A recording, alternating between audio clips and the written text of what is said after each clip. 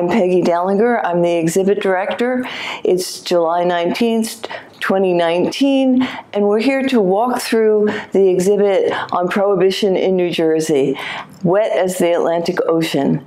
And we're here because we're about to take down Wet as the Atlantic Ocean, Prohibition in New Jersey, to make room for the new exhibit that opens in a week's time. We wanted to put the story of Prohibition in New Jersey on video for you so that if you didn't get a chance to come into the museum, which is located in front of the Ocean Township Library at 703 Deal Road in Ocean Township, New Jersey, um, you'll at least get a chance to hear some of the highlights of the exhibit.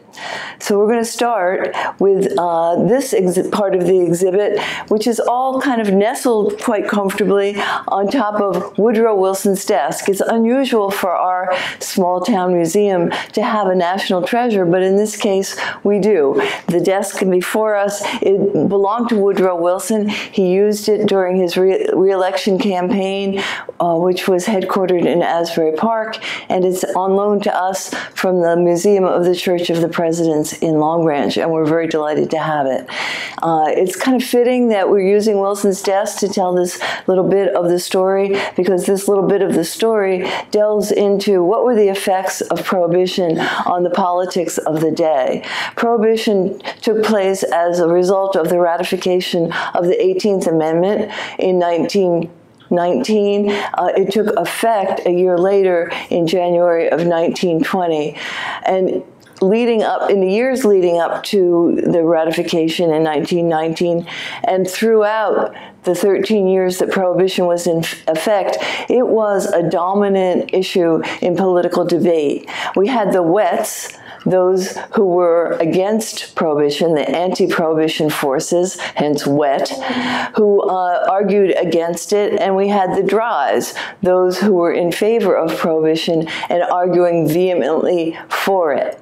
It turns out that New Jersey was kind of ideally situated to be in the wet camp. And for most of the history, it was uh, very strongly anti-prohibition. Uh, we had a large immigrant population, and we had many urban centers, and we were situated between Philadelphia and uh, New York City, and all of those uh, places were eager markets for alcohol and were loath to think that it would be taken away from them.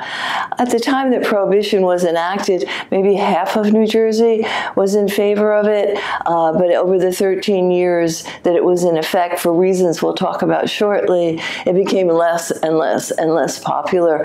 Uh, we were also kind of uniquely situated on the Atlantic coast where uh, the, the alcohol that was legal in the Caribbean and in Canada could be smuggled in. And so we had access to alcohol, we had ready markets for alcohol, and we had a political environment where our leaders were anti-prohibition and more than willing to turn their eye the other in the other direction and allow uh, liquor to flow freely in the state for um, all of the 13 years prohibition was in effect.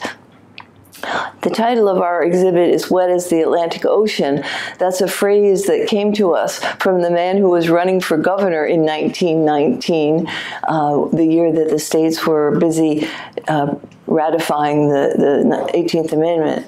And his, his vow was, if you elect me governor, I promise you that New Jersey will stay as wet as the Atlantic Ocean, a phrase he had used in reference to himself, saying, I'm from Jersey City in Hudson County, and I'm as wet as the Atlantic Ocean. So during the 13 years of Prohibition, New Jersey had four governors. Three of those four were all anti-prohibition and, and basically were very lax in any kind of enforcement uh, for, of the law.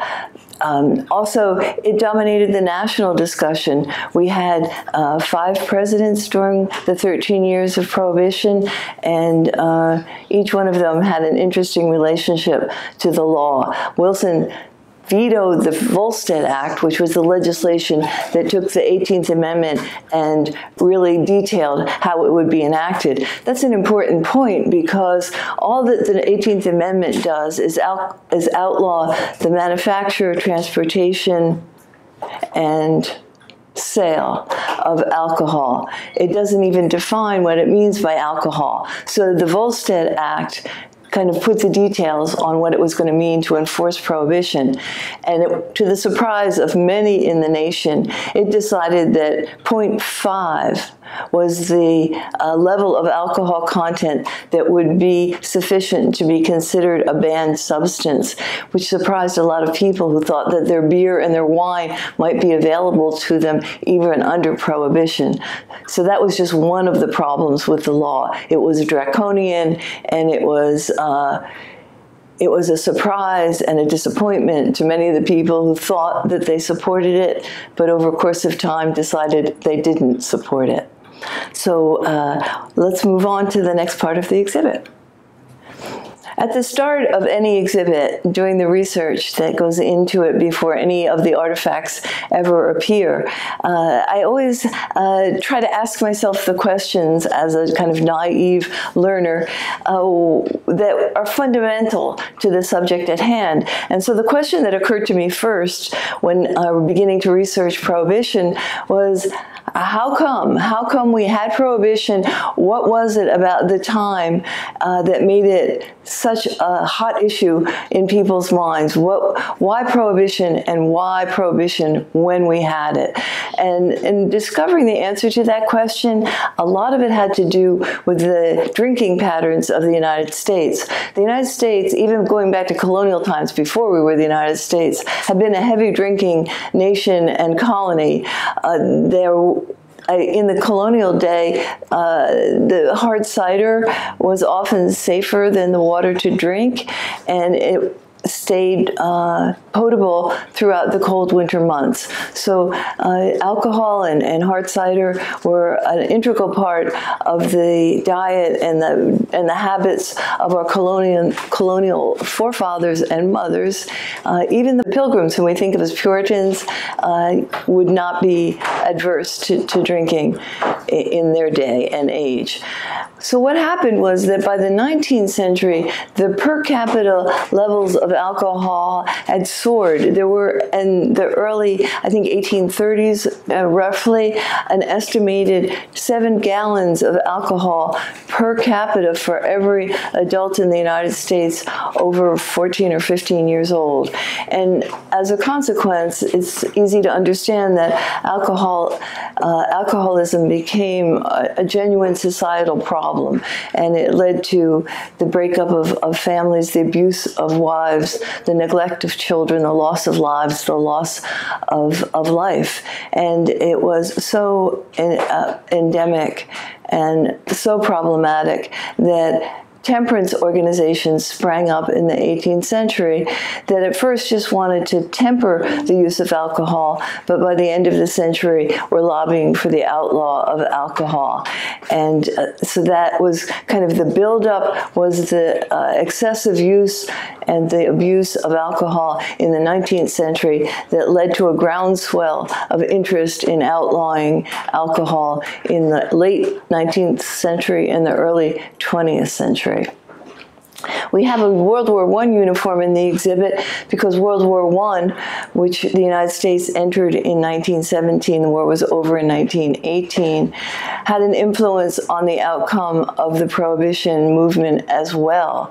Um, the, we were at war against Germany, and the German brewers of beer in this country uh, had created a thriving industry in the 19th century, and so the anti-German sentiment that was promoted during World War I translated into an anti-brewer, anti-beer sentiment in uh, the campaign to enact prohibition. Also, the war was so senseless, so bloody, and so devastating that and it changed the world order. It made the United States a global power. Many were many in this country were very uncomfortable with that and longed to go back to a simpler time and wanted to uh, react to that by outlawing alcohol. They thought that would be part of going back to the America that once was.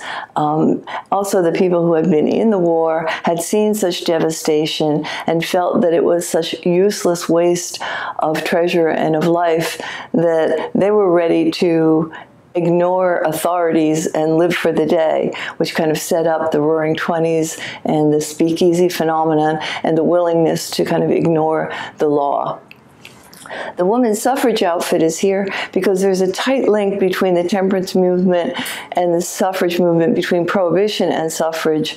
Many of the women who were fighting against alcohol found their voice and their political clout through that campaign and, and realized that they were voiceless in the political system and turned their energies and intelligence toward campaigning for suffrage.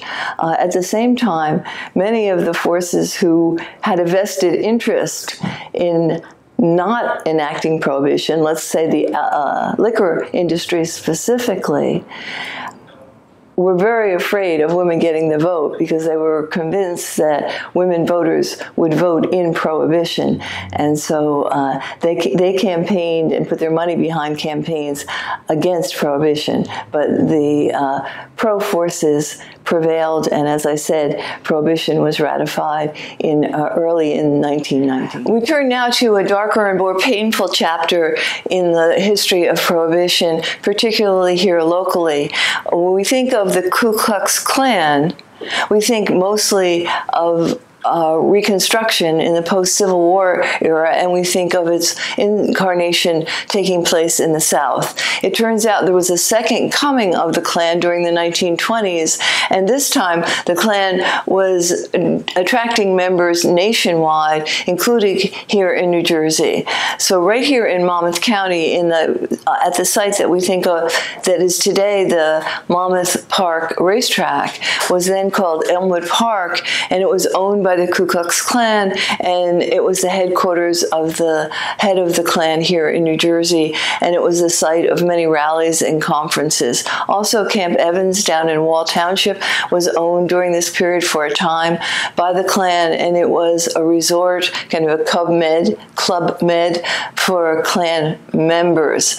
Um, the Klan had its message appealed to the draws. And it said you know as, as prohibition was playing out there were many problems unanticipated consequences that were becoming tr troublesome and problematic to society including the rise of organized crime uh, deaths and, and uh, disabilities caused by drinking uh, alcohol that was poisonous um, many people attending and uh, going to speakeasies, so they were breaking the law. So good, otherwise law-abiding uh, citizens were becoming lawbreakers.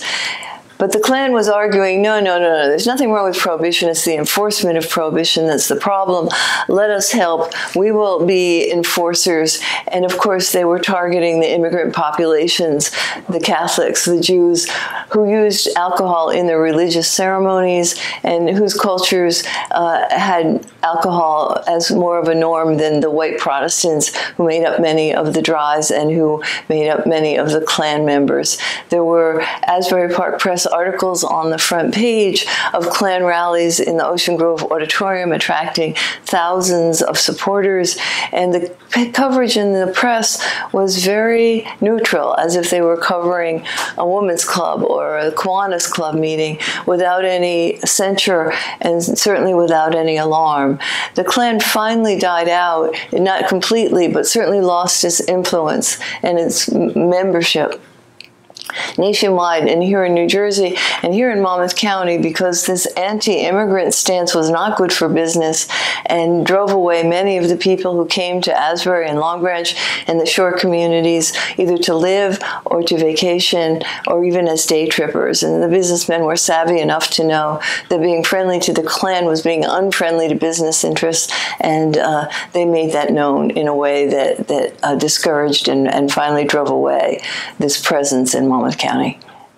When we talk about prohibition in New Jersey, we have to acknowledge that our position on the Atlantic coast made us uniquely inviting to smugglers who were taking their schooners and their ships and sailing off to Canada where alcohol was legal or the Caribbean where it was legal or even as far away as Europe, bringing it back and anchoring their ships at the international waterline, which was three miles out until it was changed during the 20s to much further out, uh, 12 miles out, I think.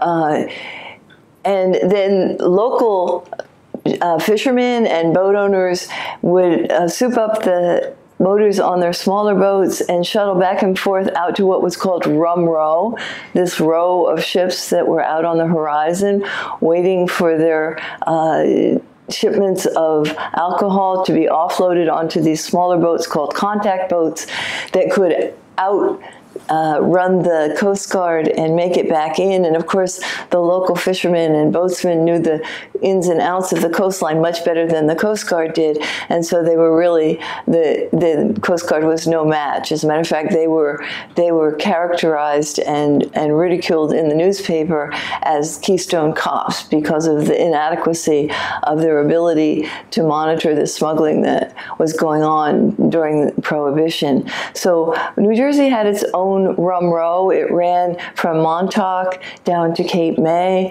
and uh, it certainly attracted the interest of organized crime because there was very big money to be made. There were organized crime headquarters in Highlands and Atlantic Highlands, drew an, enough uh, of this gangster criminal element that at times there were actually shootouts in broad daylight on the streets of Monmouth County. Uh, there's one in particular in Atlantic Highlands Islands that was covered widely in the papers. Um, then when we talk about the Coast Guard, we need to realize in sympathy that the Coast Guard had really been formed just a few years earlier in 1915 with the merger of the or the Revenue Service and the Life Saving Service into what was then called the the Coast Guard, and uh, all of a sudden it had all of its regular duties of monitoring uh, smuggling and uh, saving lives from ships uh, and shipwrecks. And all of a sudden there was this thing called prohibition, and they were charged with with running down the rum runners and the contact boats, and they were well outmanned. And of course, the Coast Guard itself was made up of wets and dries, and so there were many um, men, of course, in the Coast Guard at that time who had no sympathy for prohibition and weren't that interested in enforcing it. And uh, there is local lore that says that the Coast Guard station that was at Takanassee Beach in Long Branch here, when when the uh, floorboards of the of the station were were open, there was a stash of illicit alcohol that was there that the Coast Guard was was minding. So uh, it, Calvin Coolidge was one of those five presidents that we mentioned in the beginning who uh, whose term coincided with prohibition. Calvin Coolidge himself personally did not support prohibition in the sense that I believe as a Republican he was perhaps more libertarian than would be comfortable having the federal government tell you that you could not drink alcohol. But he was a good law abiding man and as president he certainly did his best to enforce the law of the land. And one of the things that he did in 1924 was was uh, ensure that there was an, influx of new capital and cash to the Coast Guard so they could at least upgrade their boats, their ships, and add ships and train their men. And uh, that was really the beginning of the modern Coast Guard as we know it. Remember a minute ago I was talking about those fundamental questions that come up and kind of drive the direction of the research when we're doing an exhibit uh, and, and designing what will be in it? Well, one of those questions is, so we had prohibition, which made alcohol consumption, or not consumption actually, made alcohol sale and manufacture and transport illegal. Did people stop drinking? And the question uh, is answered in a sort of complicated way because in the beginning there was a reduction in the amount of alcohol that was being consumed. But over the 13 years of prohibition, that number kept rising. And so by the end of the 13 years, in 1933, you had about the same percentage of people drinking about the same amount of alcohol as they had at the start of prohibition in 1920. Also, there were ways that people got the alcohol. I mean, where did it come from? If they kept drinking and, and the, the sale and the transport and the manufacture were out, outlawed, where did it come from? Well, we just learned that some of it came from smuggled alcohol through Rum Row, but that wasn't the only source.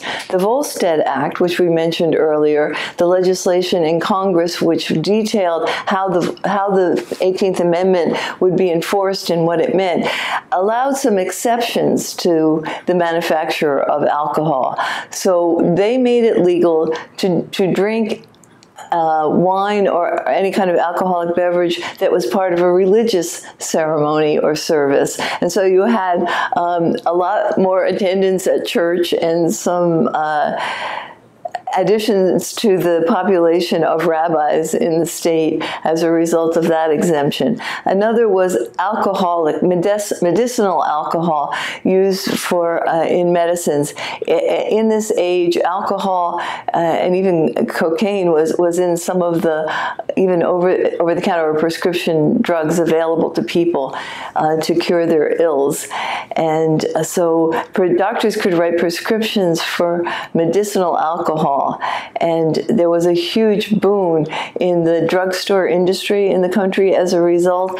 I think it was Walgreens that went from several dozen stores or maybe 50 stores to over 200 stores in the first 10 years of Prohibition.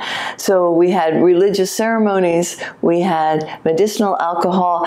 You could keep any alcohol that you had in your possession when Prohibition took, a, in, took effect in January of 1920 you didn't have to give it up. So, of course, those who were wealthy enough made tremendous stockpiles, including one of those other presidents who would, whose term coincided with Prohibition, uh, Warren Harding, who took allegedly 2,400 bottles of his personal cache into the White House and allegedly served uh, drinks to the cabinet members during meetings. And this, of course, are the, the leaders of the country who are charged with enforcing the law that they were sitting they're breaking. Another uh, exemption was that you could you could make your own, you could distill your own wine and hard cider at home for your own personal consumption. So that was exempted from the law. And um, the final one was uh, industrial alcohol that was needed for purposes of paint thinners and, and all of those industrial uh, chemical compounds that, that uh, needed to keep going on. And the, the interesting and sad part of that part of the story is that uh, whatever process they used to make it industrial and non uh, potable could was reversed, or at least attempted to be reversed, by many of the moonlighters who were selling uh, illegal alcohol, and much of it was lethal. So countless numbers of people went blind or were were uh, paralyzed by and died from drinking this this uh, really lethal brand of re, industrial alcohol that had tried to be turned into something that could be could be uh, uh, consumed.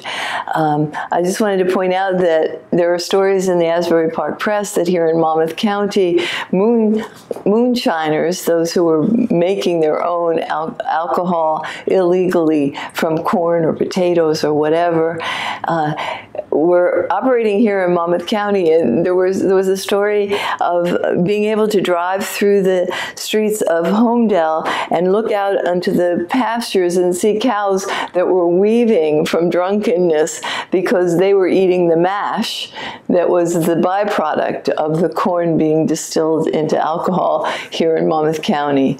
So the answer is no, people didn't stop drinking, and these were the sources of the alcohol they were consuming.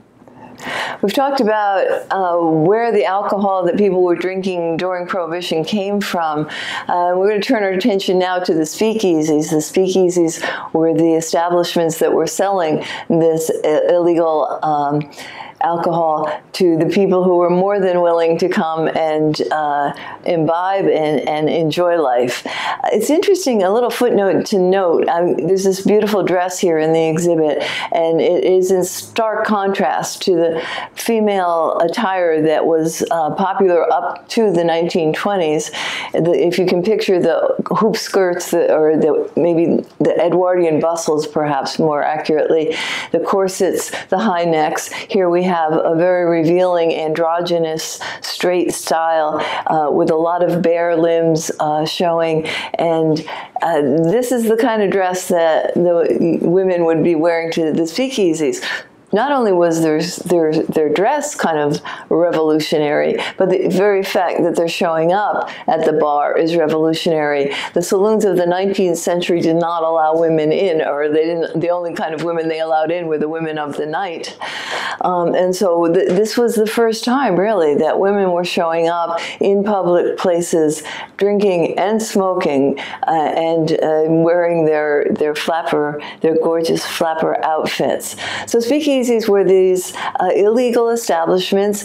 Some of them were in places that were quasi-public in the sense that they might be the back room of a restaurant, a place that the public was invited to, but you kind of needed to know and knock on the window and give the password and speak easy to get in. Many of the speakeasies were in people's basements. The, in the course of this exhibit, we had many visitors come in and tell us about speakeasies they knew of right here in Ocean Township and in Monmouth County. So we were able to identify and document that there were at least seven of the public nature kind of speakeasy here in Ocean Township, and that there were countless numbers of these like private bars that were set up in people's basements uh, where they would get their stocks from the moonshiners or from the rum runners uh, or the, the people who were selling the wares from the rum runners and uh, they would have their like almost a private club. So you would belong to this club, and you would be able to go to this house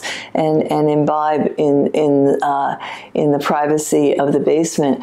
Oh, one of my favorite things about this exhibit is that we were able to find through the bottle shop on Monmouth Road in Oakhurst and their generosity a cache of bottles that had been taken from a speak from a speakeasy from a home that during the 20s had been a speakeasy. So the home was being sold, and uh, the bottle shop went over and bought this store of, of bottles from the speakeasy that had remained there for the I don't know exactly what year this took place, but let's say 70 years uh, in the basement. So we have bottles here and uh, bottles on the mantle and bottles in other parts of the exhibit that actually came from an Ocean Township speakeasy. And even more fun, they still have inside them the alcohol that was there in the 1920s. So we had, uh, of course, the west side of Asbury Park was legendary uh, for its world-class jazz and the likes of Duke Ellington and uh, Josephine Baker and just the, the, the, biggest names in music and jazz were there. It was on the west side. The west side was populated mostly by African Americans and eth other ethnic communities, but the uh, all all of the populations, the white population, the white population that was vacationing on the east side, on the boardwalk, near the boardwalk in those hotels, would all frequent the hotel, the, I'm sorry, the speakeasies on the west side because that's where the really uh, happening hot music was. Uh, and here in, in Ocean, we had Ross Fenton Farms on Deal Lake, a very famous, which operated for the first 50 years of the 20th century and certainly through Prohibition and was accessible from the lake as well as by, by auto and, and a number of others that, that are just kind of fun and interesting to think of what, what that was like right here in our midst. We've just walked through the setup and the big picture of Prohibition and Prohibition here in New Jersey. The rest of the exhibit takes a look at six different characters who have a connection in one form or another to New Jersey and played what I thought at least was a fascinating role in our local story.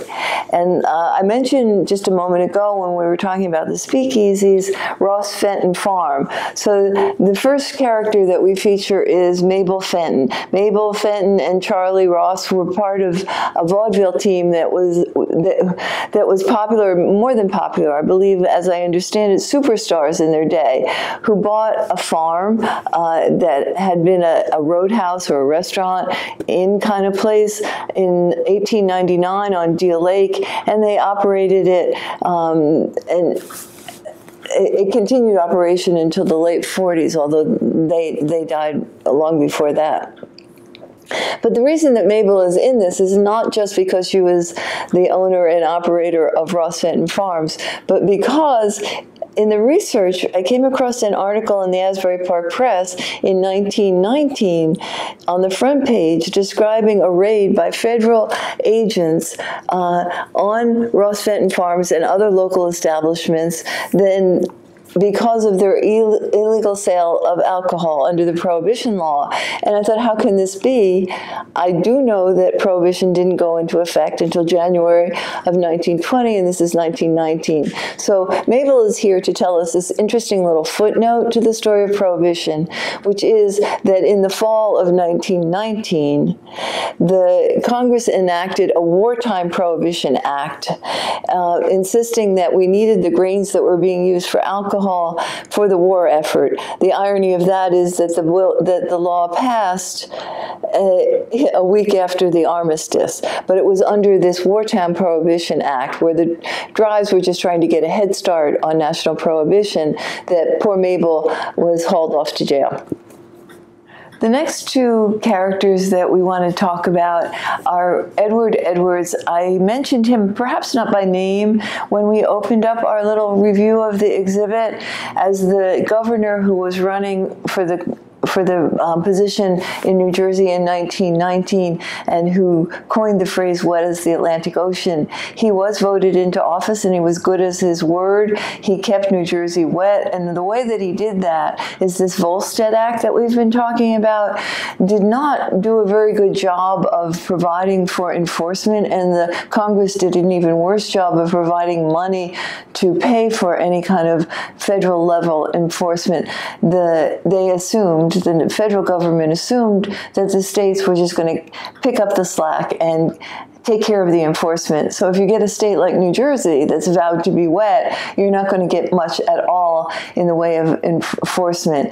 Uh, Edwards is a little is interesting too. I mentioned that he came from Hudson County, a native of Jersey City, and he was backed in his run for governor by the mayor of uh, Jersey City, Frank Hague, who became a legendary, uh, iconic political boss, not just in New Jersey, but I think he's legendary nationwide. And his backing of Edwards in this uh, run up to Prohibition was his first real test of state power. Edwards' story is, is a bit sad. He ran for a U.S. Senator, is still running on a, on a wet platform. He was elected, but when he ran for reelection, he's, he was not backed by Hague, who backed another uh, dry candidate, I mean, I'm sorry, wet candidate candidate, and uh, then Edwards lost, so he lost his bid for reelection, and then he lost his wife, then he lost his fortune, and then he was diagnosed with cancer, and I think it was all too much for him, and he took his life in um, January of 1931. Then we turn on to Bill McCoy. Bill McCoy was this handsome, charming, debonair uh, sailor and boat builder from Florida. So I've promised you that these people all have a connection to New Jersey. So here's the story of Bill McCoy.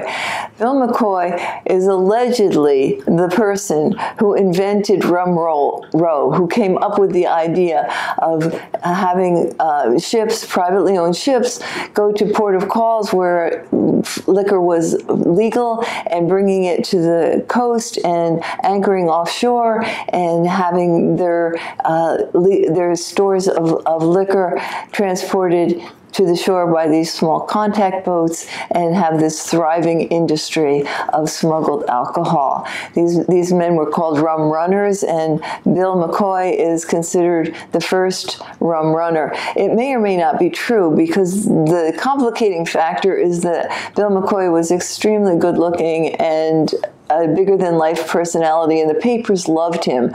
So there was a lot of news coverage of him. So I promised you a New, New Jersey connection. Here, here it is. So in 1923, Bill McCoy was arrested or stopped by the Coast Guard um, off of Sandy Hook and pulled in and arrested. He lost his ship. He went to jail in Essex County, I believe. And he, this is a testimony to how charming this man was. He charmed the warden of the jail so that he could leave the prison every day as long as he was back at nine o'clock at night.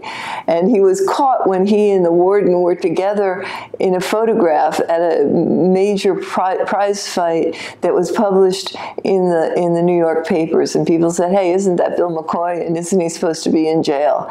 So he lived a long life. I think he gave up his rum running, went back to Florida, and took a and took up boat building again. I think, as if I remember correctly, that's the story.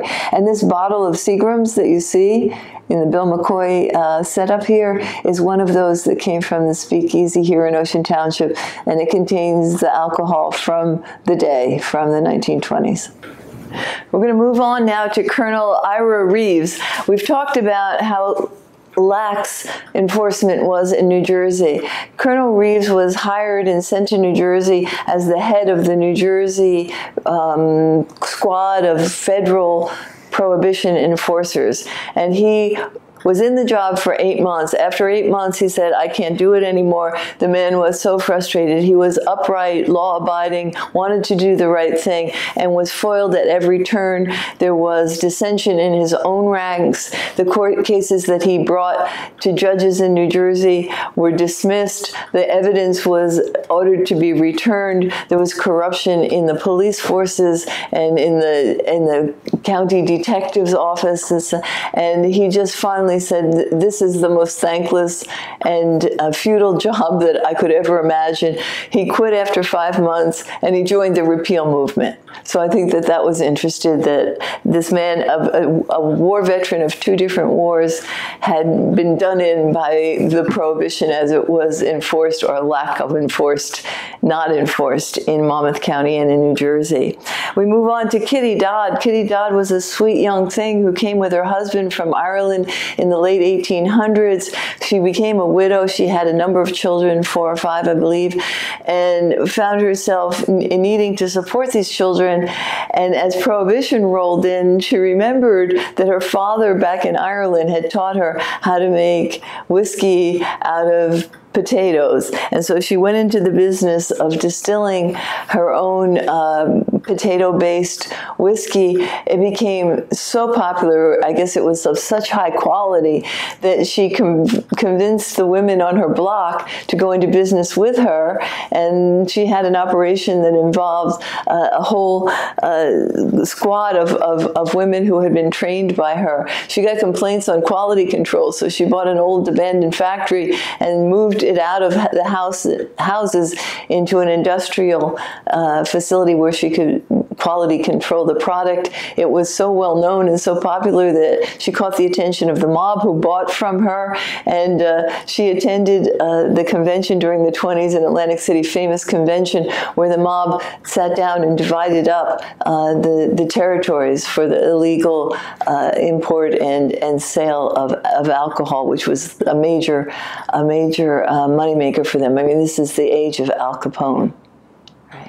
That takes us to the last character in our gallery of Prohibition characters, and this is Harry B. Crook, aptly named because even though he was the chief of detectives in Monmouth County, he was alleged to have a, a racket where he was um, asking for money from all of the speakeasies in order to uh, not uh, arrest and, and raid their establishments. Uh, he was uh, the picture of Steinbeck's here in, in Long Branch is on display because he was the house detective there when um, Jonas Tuman found him. They became friends. Jonas Tuman was the county prosecutor, and I think that they were in it together. Neither man ever went to jail, but Harry Crook was censured and uh, written up as being unfit and incompetent in his job. And the final piece of the exhibit is, of course, the uh, story of the repeal. By the by 1930, really, the the uh, 18th Amendment was repealed by the 21st Amendment in 1933. But by 1930, people were really tired of, of the chaos and the unintended consequences of prohibition, and by they were ready to, to make alcohol legal again. And of course, there was the crash of 29, and one of the things that was a consequence of prohibition was the loss of a major stream of revenue for the federal government on alcohol taxes.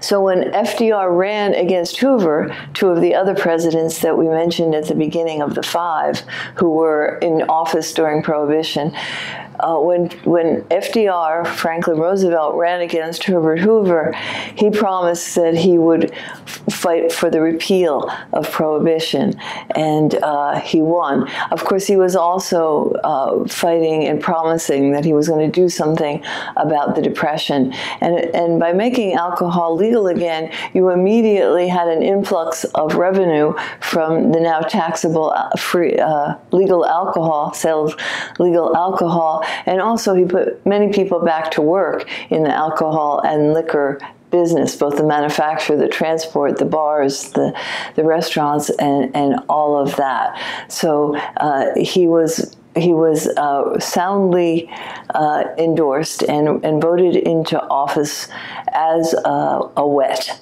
Uh, it's just interesting to note that Hoover had run in uh, four years earlier against Al Smith, and uh, he ran as a dry, and so the prohibition, the issue of wet versus dry, was was top of mind through the politics of at least the 13 years, and and certainly, as we said before, well beyond. So uh, on December 5th of 1933, 36 states ratified in record time. This is the only constitutional amendment that is a repeal of another amendment, and uh, the the 21st Amendment took place, uh, took effect effect, it became the alcohol became legal again, and what was called the Noble experiment was over. You ready? So you look right at the camera. You can look at me, but you really want to okay. look at the lens. So that's how you look at the person who's watching the show. I am Pippa Lackey, and this is what I learned about prohibition. Um, that prohibition was in the 1920s and and people went into speakeasies to get alcohol and uh, okay, I got it. Okay, so you ready? Yep. Look up here. Hi, my name is Lackey, and I would like to tell you what I learned about prohibition. Prohibition was when um, when they when people couldn't drink alcohol. And and it was in 1920. And these are the people, these are the women that wear, this is the dresses that women wear to it. And I have an idea. Okay, what's your idea? I need some ideas. Hi, my name is Peggy Dellinger, and this is Pippa Lackey. Right, and we're here to tell you what Pippa has learned about prohibition. So, Pip, what is prohibition? It was when people could not drink alcohol. And why not? What happened that made them not able to drink alcohol? Because it was not healthy. Well, we know it may not be healthy, but what did the government do? They made it poisonous. That's true. Yeah. But first they made it illegal, right? Yes. Right. And then when people were drinking it anyway, the industrial alcohol, they put poison in it, and then that made people sick and even killed some of them, right? Yeah. So when did this happen? What time? What years? 1920. Right, and it lasted till 1933. Uh-huh. Yeah. So let's see. Did people stop drinking? Nope. No. How did that work? Where did they go to drink? Speakeasies Speakeasy. What's a speakeasy?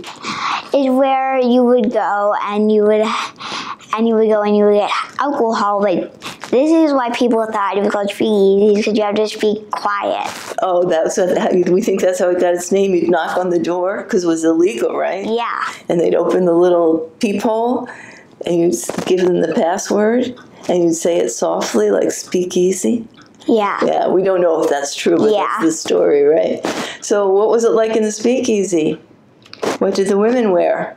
They wear dresses like this. Oh, very good. Anything else that you want to tell us? Where did the alcohol come from? Uh, um, sips, From where, hon? sips, Sips. Sipping it? sips, Ships. Ships. I'm sorry. Okay, hon. Thank you very much. You're welcome.